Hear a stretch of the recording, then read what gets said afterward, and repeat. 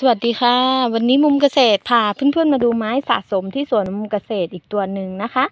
ตัวนี้เนี่ยเขาบานครั้งแรกที่สวนมุมเกษตรนะคะ เป็น Lobivia นะคะ อีกตัวหนึ่งที่เขาเขาเป็นสาย Chamaecereus หรือว่าบางที่เขาก็เรียกว่า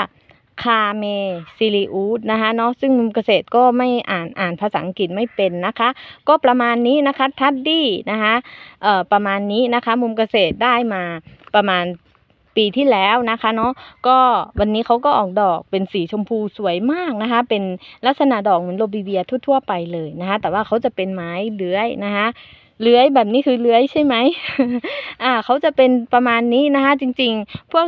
คาเมซิลิอุสเนี่ยมุมเกษตรสะสมอยู่หลายตัวนะคะตัวนี้ก็ราคาก็ไม่ค่อยแพงเท่าไหร่นะ ตัวนี้ถ้าหน่อเล็กนี้หน่อละ 80นะคะถ้าหน่อใหญ่หน่อยก็หน่อละร้อยนะคะ ถ้าเกิดว่าชำหน่อมีรากแล้วเนี่ยก็จะหน่อละ120ถึง150นะคะ ถ้าใครที่สนใจก็สามารถที่จะหามา สอบถามกันเข้ามาได้นะคะ หน่อเล็กแบบนี้หน่อ 80 นะคะ หน่อใหญ่แบบนี้หน่อละ 100 นะคะ เราสามารถเอาไปหั่นแล้วก็กราฟได้เยอะเลยนะคะ ตัวนี้ ถ้าใครที่ชอบเออกำลังสะสมสายนี้อยู่ก็สามารถสอบถามกันเข้ามาได้นะคะ มุมเกษตรมีตัวเรนโบว์ตัวนี้แล้วก็อีกตัวหนึ่งก็คือฟลายคักเกอร์ อีกตัวหนึ่งคือ Lincoln Gem หรืออะไรสักอย่างนี่แหละ แล้วก็เป็น Lobivia เลื้อยอีกตัวหนึ่งนะคะเนาะใครที่สนใจก็สามารถสอบถามกันเข้ามาได้ ถ้าตัวไหนที่เขามีดอกบานเนี่ยมุมเกษตรจะมาอัปเดตนะคะ ให้เพื่อนๆดูนะคะ ถ้าเกิดว่าเขาบานกันหมดแล้วเนี่ยจะมาขายเป็นชุดนะ แต่พอดีว่าเขาบานเขาบานเอ่อแค่ตัว Firecracker กับตัวนี้นะคะ ตัวที่แพงสุดก็คือ Firecracker นะ ราคาจะอยู่ที่หน่อละ 250ถึง300 เดี๋ยวมุมเกษตรพาไปดูนิดหนึ่งนะคะ ตัวนี้จะเป็นตัว fly cracker นะคะเขาก็กำลังจะบานกันตัวนี้จะเป็นสีเพลิง สีแดงสวยมากนะคะ ตัวนี้ถ้าเกิดว่าเป็นหน่อเล็กๆ แบบนี้เนี่ยจะอยู่ที่ 250นะคะแต่ถ้าหน่อใหญ่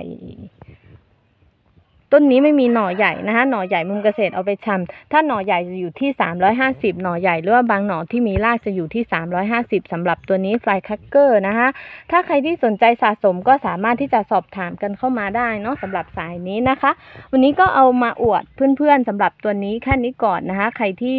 เอ่อชอบไม้แปลกชอบไม้สะสมนะคะก็สามารถสอบถามกันเข้ามาได้สำหรับตัวนี้เนาะตัวนี้จะเป็นเหมือนจะเป็นไม้ตัวใหม่นะ เพราะว่ามุมเกษตรไม่ค่อยเห็นเขาขายกันนะคะก็มุมเกษตรก็เพิ่งเห็นแล้วก็แบบสั่งมาเมื่อปีที่แล้วนะคะไม่รู้ว่าปีนี้เนี่ยมีขายหรือเปล่านะ